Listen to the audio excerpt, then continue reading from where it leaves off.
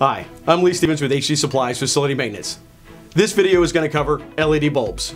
If you're currently using a CFL bulb, you might want to consider switching to an LED bulb. Both of these can have a 10,000 hour lifespan.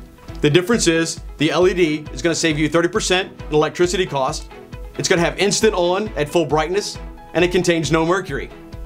You want to save even more money? Think about switching to the 25,000 hour LED bulb. That equates to five and a half years of use at 12 hours a day. When comparing HD Supply's LED bulbs to those of big box stores, remember to compare apples to apples. Look at the hours of life and also look at the CRI, the color rendering index. Remember the lower the number, the lower quality of light. Now let's take a look at some examples. A standard 10,000 hour LED bulb, 25,000 hour LED bulb, the new LED filament bulb, and your standard CFL bulb. There's not a lot of difference in quality of light in these bulbs, but do remember, you get what you pay for.